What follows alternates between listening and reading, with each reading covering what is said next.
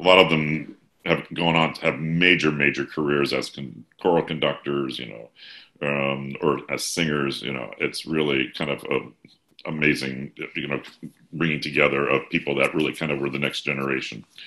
Um, what do we call your voice? Oh, my voice? Yes. it is the... It's actually called a basso profundo, basso which means okay. deep, low bass. Yeah, well, yeah, that seems are. like that's accurate.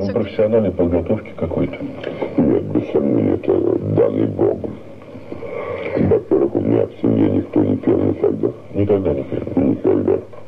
нас была простая рабочая семья, в общем-то, мы далеки были от театра все. Они вымерли буквально все октависты. Почему? Потому что ни консерватория, ни музыкальное училище не выпускают певцов для хора таких низких. Don't sing this in front of anybody. Just don't do it. Anyway, the one of the one of the reasons why I like this song so much is because it's um, it it forces you to when you're mimicking Thurl, you're putting that sound really forward in your mask, which is uh, helpful for me. And also, um, I mean, he's just got a great voice, so singing along with him just helps in general. Many years ago, I had a real good friend. His name was J.D. Sumner. Now, J.D. was my buddy. Uh, he was one of the, to me, the greatest bass singer that ever lived. And uh, we played golf probably a hundred times together. And like I say, we were real close. Als der merkte, dass ich nicht sang und nur äh, äh, Seif, Seifenschaum, Seifenschaum gemacht, ja. hörte auf zu singen, versteckte sich äh, während der Pause äh, auf der Toilette, dass der Dirigent ihn nicht erreichen konnte. und dann haben wir dann in der Pause haben wir dann die, die Dinge im zweiten Akt, wo Gott sei Dank nicht sehr viel geändert war, haben wir dann besprochen und dann ging es. Aber das war für mich der Schock meines Lebens eigentlich. Ah, da war Matti äh, äh, äh und ich besetzt, dass man mit fünf Partien durch die Welt reisen sollte und die überall abziehen. Ich da ist es, der Osmin. Sehen Sie gerade das Bild? Aber es gibt, ich meine, dass es keine Sänger mehr gibt, das ist ein Trugschluss. Ja. Es gibt sehr begabte Sänger nach wie vor.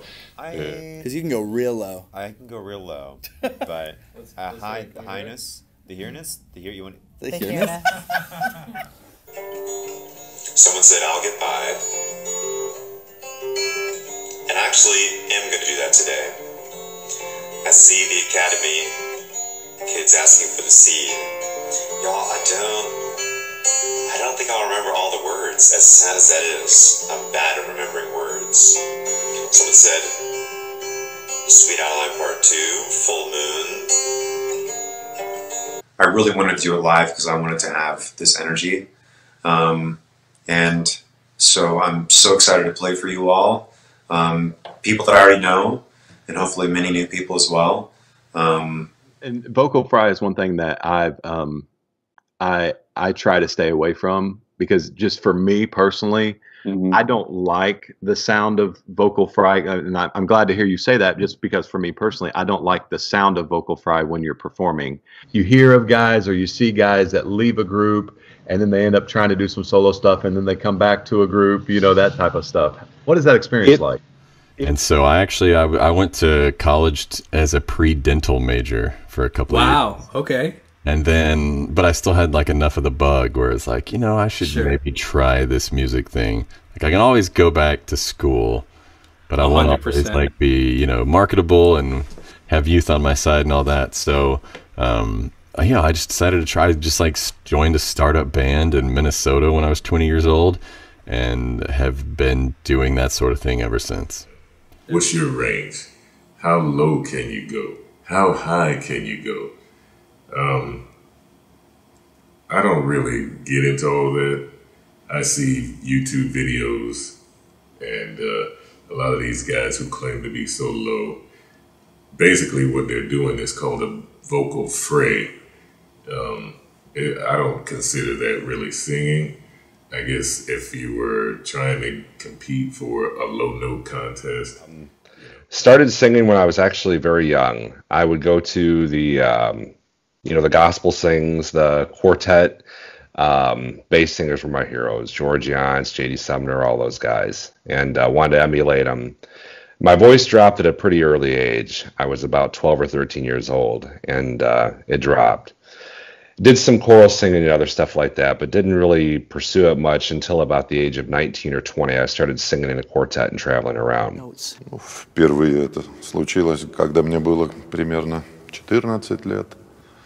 Я поступил учиться в музыкальное училище как музыковед-теоретик. Да, добрый день, дорогие друзья. Сегодня у нас международный эфир. Россия приветствует вас и Владимир Миллер Бас Профунда из Санкт-Петербурга. Я рад всех вас приветствовать. Здравствуйте. Сложно объединиться во что-то такое единое и интересное. Вот надеемся, что Вам скоро это, это произойдет. Ну, пока что идет время репетиций, но сама идея очень интересная. И я думаю, людей это порадует. A Pentecostal church. In June, we had a big camp meeting in Wimauma, Florida, and Frank Stamps was my idol when I was four years old. He came to the Church of God camp meeting in Florida and sung Stand By Me to 10,000 people without a microphone. And my mother said that I said that night that at me four years old, I was going to be a bass singer just like Mr. Frank Stamps. And about J.D. Sumner retiring. Is any truth to that? Uh, I, I ain't gonna retire uh, till Jesus retired. No, I, I don't have anything to do but sing. I lost my wife six years ago, and uh, I don't even want to stay at home. God called the dry land earth, and the mass of waters seas. And God saw that it was good.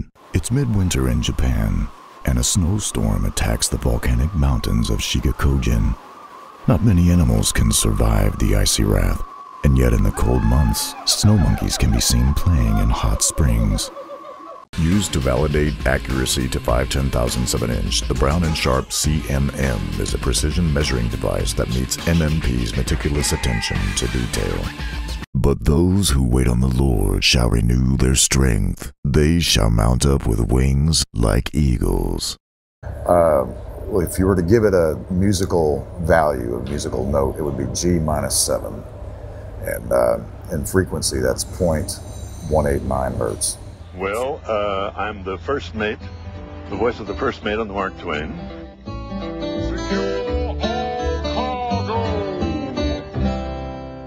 And uh, in the Bear Country Jamboree, Which I'm, bear the, I'm the old, no, I'm the old sourpuss on the wall, the buffalo head. Oh, I Oh, sing it, babe. Come on, sing it, babe. And I've done, uh, uh, I'm the parrot in the uh, Enchanted Tiki Room. For 45 years? yeah, yeah. What voice is that? Well, I'm sure you've heard the guy who, if somebody says, Tony, are they any good? Tony says, good. They're great.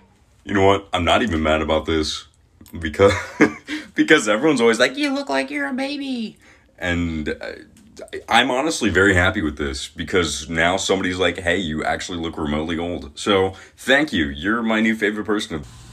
Okay, so this is what I sound like in the morning. Um, it's not that different, but yeah. Just not long after that, but I hid them and burned them and threw them away, you know. But uh, the first one that I have kept, I was 12 years old. And I wrote poems, songs, short stories, uh, drew pictures, a little of everything.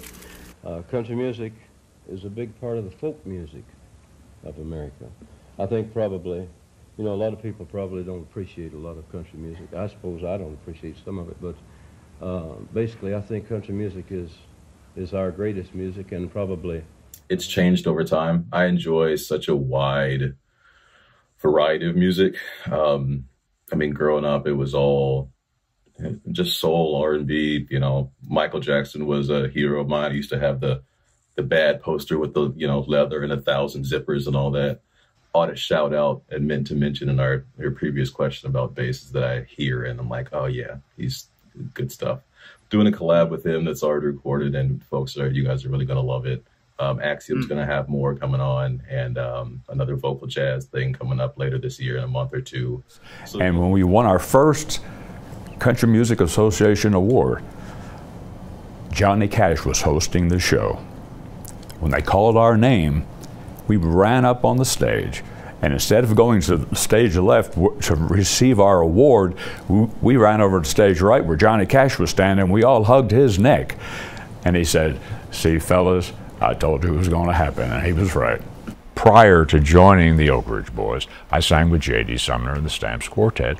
And uh, for about a year and a half of that time, there, there was a time when we were playing in Las Vegas where uh, we were doing two shows between the two shows, Elvis came into our dressing room and said that he wanted to talk to us. So he asked us to come up to his room, his suite at the top of the Las Vegas Hilton. Uh, you're here. Good noon. Yeah, I'm not a morning person either. I just oh woke oh my up God. late. Jesus. You just wake up? Yeah, Another one of those Mondays. It's like a.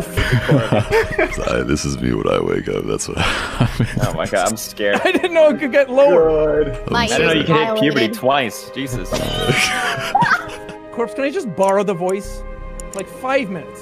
What would you do with it? I don't know, like call my dad or something and be like, All right, let's just not look at each other ever. Everybody travel in packs of one.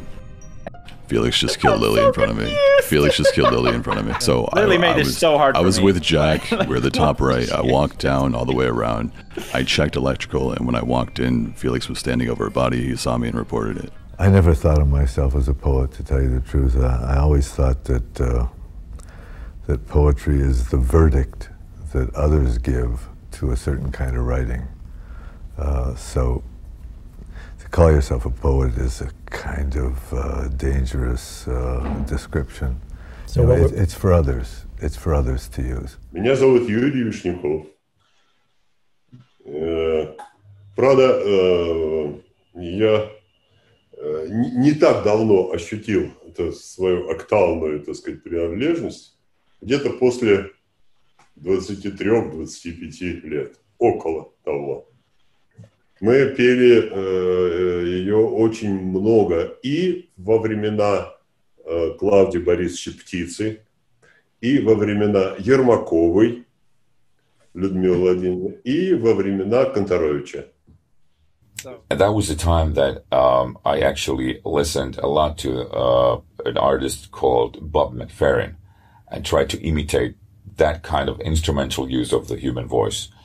And um, but I think the high school uh, was around 16, 18. That was the thing that really turned me into more of a singer than a player because at that time I was still playing viola and uh, I was playing uh, drums in a jazz trio. and I wanted to sing opera, so I was going to be an opera singer, and uh, sang uh, HMS Pinafore and La Boheme, and Daniel Webster, and all those things, and uh, it just it became to where I was pushing God out uh, because I felt like I had been burnt in in essence, and so. Ошиблись, на полчаса раньше пришли на прием, а пришли вдвоем, и когда мягко и бархатно врачом начал беседовать, извините, опоздали, на полчаса раньше пришли. I had that uh that old mountain man look going on there for a little while. Felt good. I've never had I've never I had a mustache back in the nineties, you know, but uh eighties and nineties, but you know, since I've been with the Kingdom Heirs, I've kind of been clean shaven. A lot of people like that. It's just one of the rules had set, which is weird because back in the nineties, everybody, even the Kingdom Heirs, had mustaches and and uh, you know longer hair, party in the back. You know what I'm saying? Right. So, Right. I was 14 years old and uh, I spoke to my mother like I usually do every morning. And my chest just rattled. She was stunned. I was stunned. We stood there looking at each other. I was scared to speak. I was scared to say anything else. Uh, and suddenly tears started rolling down her face, and she said, My baby became a man today. So, and that's the day I started shaving. Uh, started What, your shaving. beard just popped out like that? Next morning, after the day of my voice changing, and hair started going on my face. Yeah.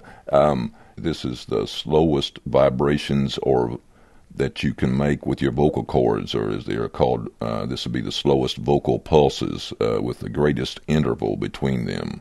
That's your first one. You are, okay, I, all I didn't make it melodic, though. Uh, Well. here's here's another thing I can do. Okay. Wait.